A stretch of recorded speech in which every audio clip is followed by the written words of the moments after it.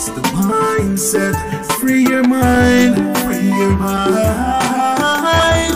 Mindset. Free your mind. Free your mind. Hey, not everything that glitter is gold. Everything that's white is snow. On the mindset, I just start let them know, let them know, let them know. Oh, words from the wise. I just start, we will never die.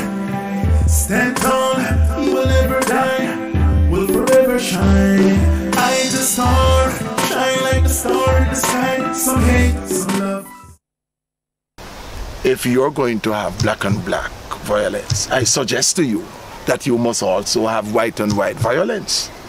Why the double standard? Why the racial introduction in the context? It's deliberate. All right. Um, my question to the I now, because the police play a, a, a, a, a big role into this. Can Hey yo, I just start. Want them know say. Okay, are you the king of representing them? Watch you now. No, I just start. I say without fear or favor that it is not about our African community trusting the police. First and foremost, we must trust ourselves. true.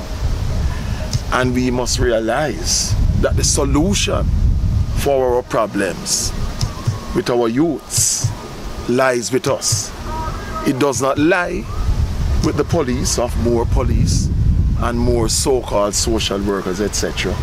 It is our responsibility as African parents and grandparents to deal with our youths who are misguided, who have been led astray, because they are our children no matter what and it is for us to deal with them and to discipline them and to bring them to the to the fold you notice i'm not making excuses and saying that you don't have some of our youths Yes, who do wrongs you do. but it is for us Yes. always to recognize that they are our children because you and I, we are fathers and grandfathers. So is our esteemed camera brother. Our children are not just our biological children. Our children are also the children of our brethren and sisters and others. True. So it is a Marcus Garvey principle that self-reliance, that we are responsible for dealing with our community. Now, we live in a country, we know the ratio of the population, there is necessarily interaction between the social services and the police um, force, etc. But it's for us to organize and when we deal with these outside organizations outside of our community, that we have our own manifesto, our own agenda, our own plan of action, so that we are not the victims of what they would want to put on us, but that we set the agenda and we maintain our agenda and that we are not used against each other for the benefit of people who are not Africans, whether they are in uniform or not. Rastafari. All right. Um, interesting. We want to turn the attention to reggae music.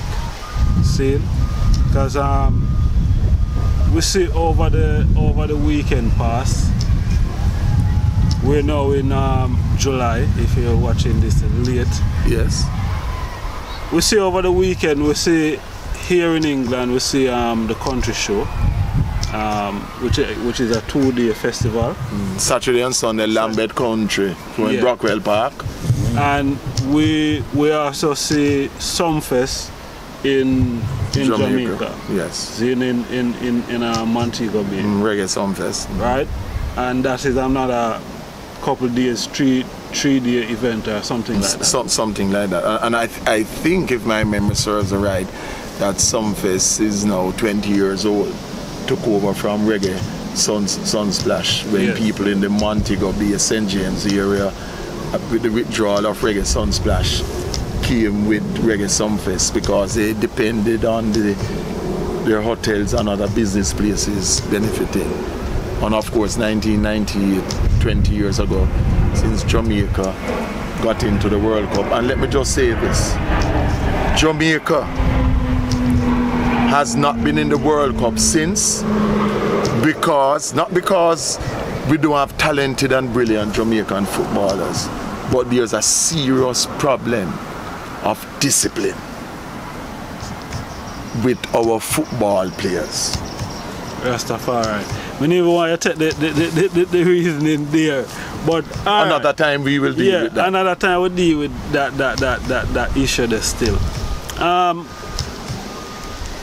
here in England, seeing the country show we don't see much um, reggae artists of such coming from Jamaica performing and and and this um, country show. And you know, over the years it have publicized or advertised more as a reggae type of show. You know, most of the people them that you see They come because of the reggae Because on the- Sunday. Yes. What do I um, view upon um, you know the lack of reggae artists? We see um, people like Bugle last year, Yes. and we, we, we only see um, Johnny Clarke this year. I think Steel Steel Pulse David Hinds from yeah, Steel Pulse was there, from Birmingham. yeah. but is also a British yeah, born in Britain, yes. Yes. David Hinds, yes. What do I view? Is it My my view is this. Again, as Malcolm X and Marcus Garvey says, you know, um, study of history is most rewarding, and a people without a knowledge of their past culture and roots is like a tree without roots. true? So, talk about Brockwell Park, where we are Right now. Right now, in Brixton, in Lambeth. Historically, some of the first reggae events, some of, if not the first, in terms of sound systems, was when my brethren, and I'm proud to say my brethren, Lloyd Coxsone of Sir Coxsone Sound System, man originally from Cottage Pen, St. Thomas, Paul Boga Parish, Eastern Jamaica Yes, sir. and Jim Daddy from my parents' parish of Manchester in Jamaica. I went to his funeral as did Lloydie some years ago. Played in Brockwell Park many years ago. And I was reasoning with my brethren, Lloydie Cox, who said, Mandingo, you know what I remember about it? When Jim Daddy and I played in Brockwell Park, when we applied for permission, because you just don't come in the park and set up, you have to let the council know, Lambeth Council. They said, oh, go ahead, no problem. He said the police and Lambeth Council, they were shocked at the many, the vast crowd that the reggae sound system, Jim Daddy and Lloyd Coxsone, drew. They were taken totally off guard. He said the next year, the council and police changed tack. They started to demand all kind of clauses, you know them, those kind of clauses that really telling you no more of this Yes. yes. and asking for some thousands of pounds, he said, if my memory serves me right, as some kind of bond or insurance.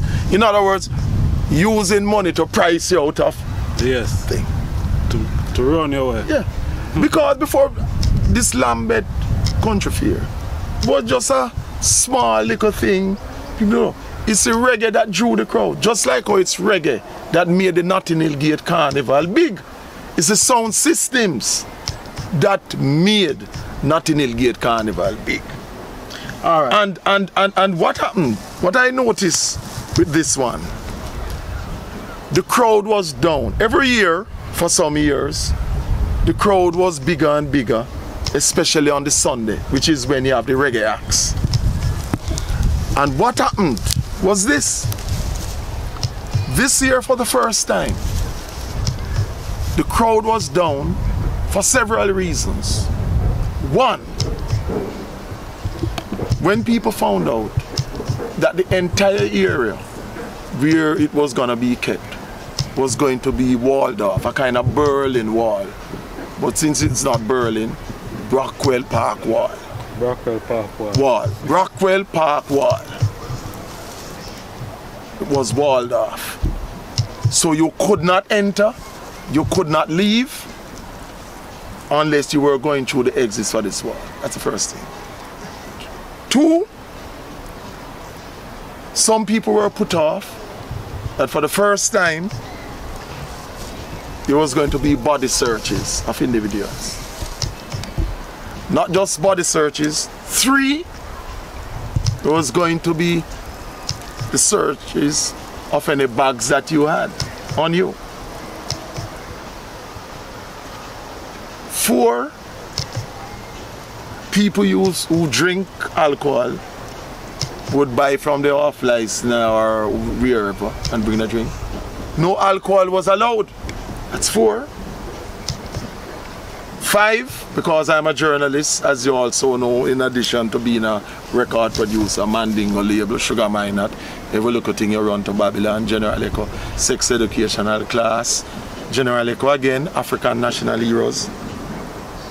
When when when you when you when you um went to the bar, I, I, I in my capacity as a journalist, I walked all about. I came both days because I didn't want anyone to tell me what happened. I wanted to see firsthand. First hand, yes.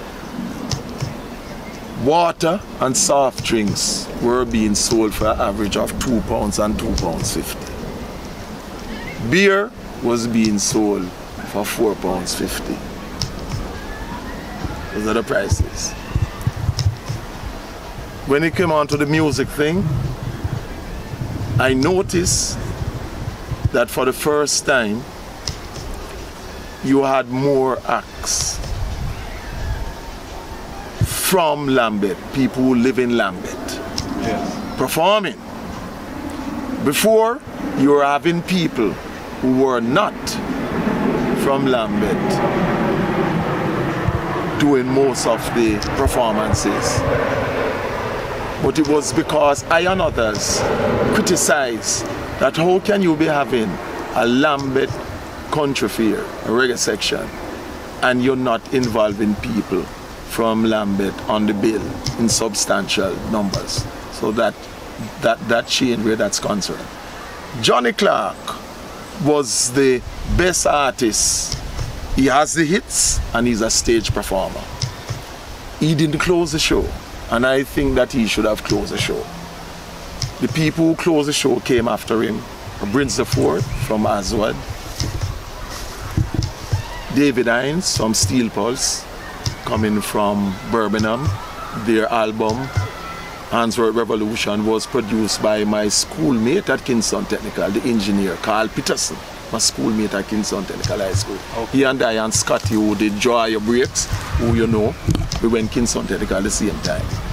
They were one year ahead of me. Mutabaruka, Philip Linton, that's Arrow Sound from West Avenue off Windward Road, Franklin Town.